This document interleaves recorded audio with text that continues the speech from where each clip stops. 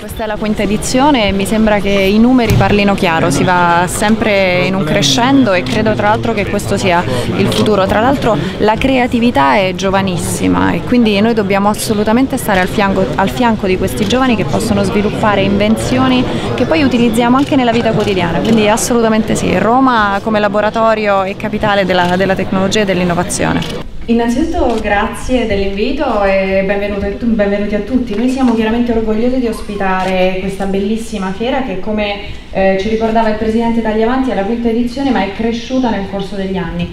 Ecco, allora io penso questo, tutti i nostri figli sono ormai chiamati nativi digitali.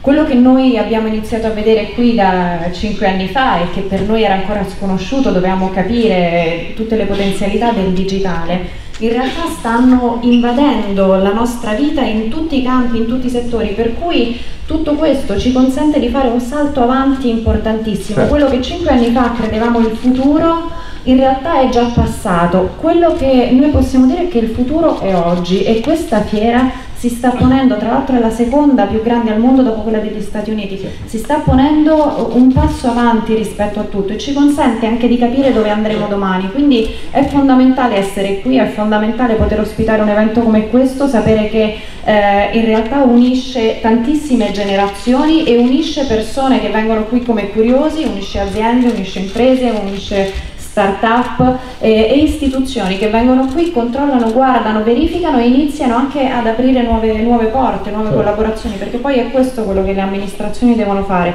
mettersi a disposizione delle idee di chi vuole investire, di chi vuole innovare, di chi vuole aiutare a sviluppare il paese, quindi noi non potevamo mancare. Grazie mille. Grazie. Grazie. Prego,